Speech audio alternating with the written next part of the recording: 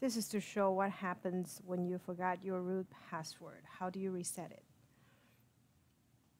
So what you do is you first type in your root account and then you click on forgot password and it's going to ask you to verify that you're not a machine.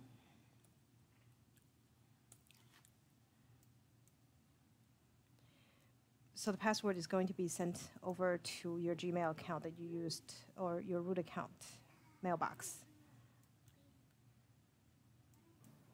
So now I'm logged onto my, G my uh, root account and um, here is the link that you will receive to reset your password. So I'm going to click on that link and it will allow me to set a new password. So for testing purpose, I'm going to the secure password generator. I'm going to generate a ridiculously complicated password, and I'm going to use it as my new password.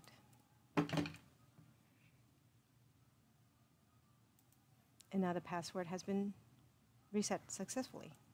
I'm going to sign in with my new password.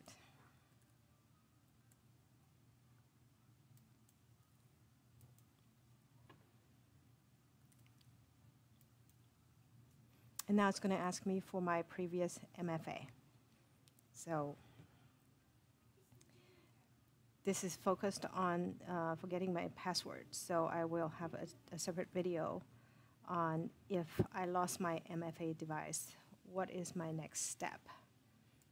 So right now, I will just use my authenticator to um, put in my MFA.